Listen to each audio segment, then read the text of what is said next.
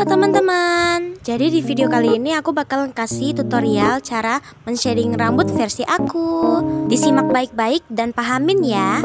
And enjoy the video.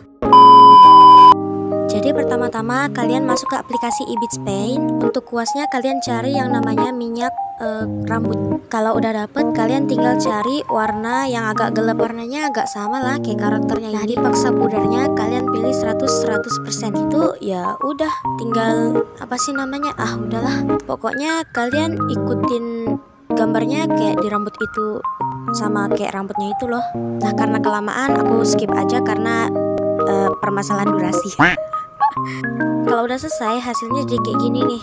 Terus kalian pencet di layer, tambah layer, terus modus perpaduannya menambah. Nah yang ini, terus jangan lupa kalian kasih pangkasan biar nggak coret-coret di luar rambutnya aja gitu. Terus untuk warnanya, warnanya agak sedikit terang dikitan lah dari yang gelap tadi.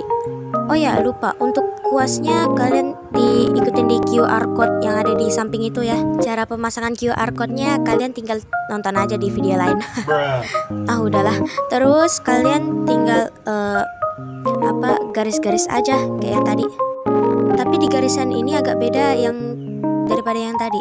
Ini harus sisa-sisa ada kelihatan sisa gelapannya dikit aja gitu loh.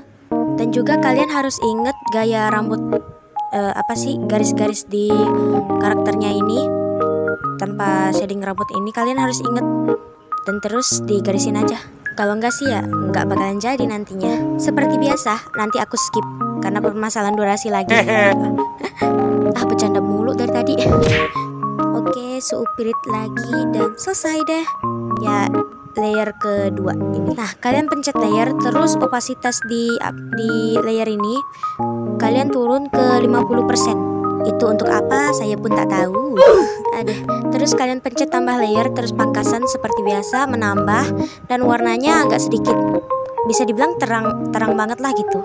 Tapi jangan yang agak terang banget. Terus kuasnya di QR code seperti biasa ini punya orang lain saya ngambil. Ini sudahlah. Fokus fokus fokus. Nah uh, stabilatornya sama 100% 100% um, udah garis-garis aja ini nggak perlu kayak di pertama karakternya itu aja gitu. Kayak terang terang buat rambutnya yang terang aja lah gitu. Aku ngomong apaan sih dari tadi? Maaf ya guys. Banyak bercanda gue. Dan ini juga bakalan aku skip sih. And just like that udah deh selesai tada udah deh kita doang. Ya segitu aja tutorial video tutorial dari aku. Semoga kalian paham apa yang aku katakan tadi ya. Untuk selanjutnya kalian bisa request di komentar mau tutorial apaan. Nanti pasti bakalan aku buat kok. Dan maaf banget kalau tadi aku kebanyakan kayak bercanda apa kurang jelas gitu. Maaf banget. Maaf banget ya. Segitu aja and bye bye See you in the next video. Bye bye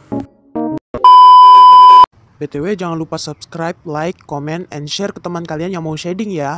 Matiin atau gue tonjok lu ya? Iya, iya, gue matiin. All together is good. I just wonder if you like me.